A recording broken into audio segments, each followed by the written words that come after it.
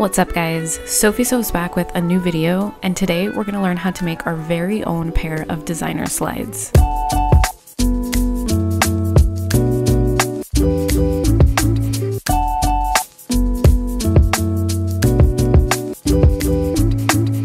Alright, so the first thing we need to do is use some good old painter's tape. We're going to need to completely cover the leather portion of the slide in order to get an accurate shape for our fabric. Create some indented lines on the side where the leather stops, and use an X-Acto knife to cut out the pieces that are not needed.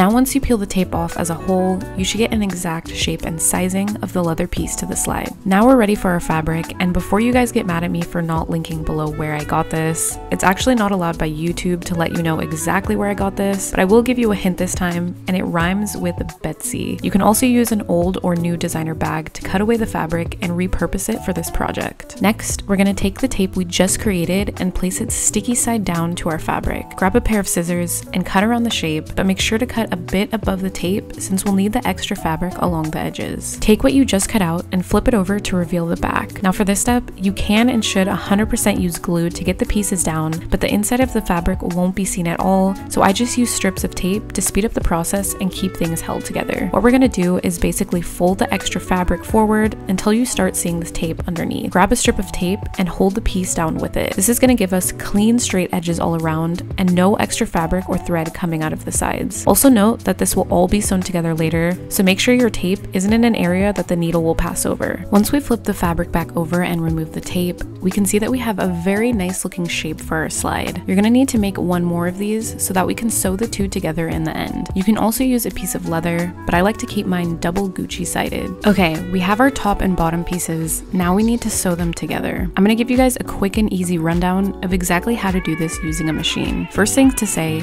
is that it's best to have a machine that has a speed control, backstitch button, needle up button, and easy bobbin system. If you're using a machine without these things, it's going to be harder to get good results. First, we need to do something that's called winding our bobbin. Your machine will come with these little plastic pieces that the thread needs to wrap around to. Every machine is different, but for my particular machine, all I need to do is place the plastic piece on the gray post, place my thread next to it, grab the beginning piece, follow the instructions listed on the machine on where the thread should go, and bring it back to my bobbin.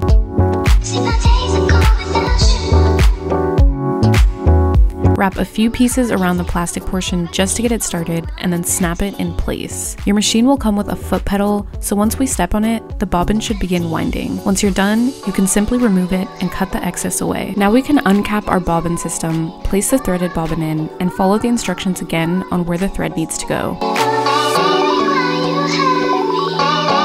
Someone cut the thread once it's locked in, so we can put the cap back on after it's in place. Now we can come back to our thread and completely bring the thread through our machine and down to the needle. Again, every machine will be different, so make sure to follow the instructions listed on where it should go.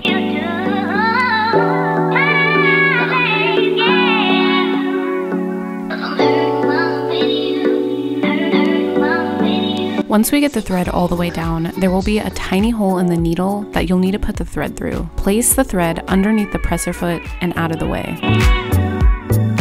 Now all we need to do is use the manual crank on the side, turn it towards us a couple times until we see the thread from the bobbin come up, and pull it out and onto the side. Before sewing, keep in mind we have a reverse stitch button and a needle up button. You will need to reverse or back stitch at the beginning and end of every stitch in order to keep the thread secure and prevent it from coming out over time. The needle up button is simply for when we're done sewing and want the needle to return to its upright position so we can pull the fabric out. With this in mind, let's grab our two pieces, place them under our presser foot, lower the presser foot, begin stitching, backstitch two to three times, and begin stitching around the outer edges of both pieces of fabric. Using a slower speed setting will allow you to get better and cleaner results. Remember to backstitch again before you're done, raise the needle and presser foot, and then pull the fabric out.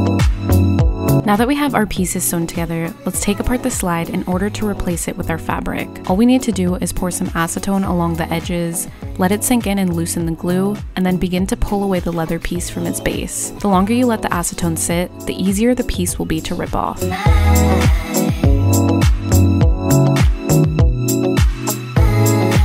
Lastly, we need a glue strong enough to keep the fabric to the shoe, and barge is definitely the way to go for that. To attach the two pieces, we need to place the glue on both surfaces and allow them to get tacky enough to stick together. To make them tacky, we need to use a heat gun and run it over the glue until you see it start to bubble. Once both pieces are ready, you can simply attach them and let them dry. Once dried, the bond will be extremely strong and 100% wearable.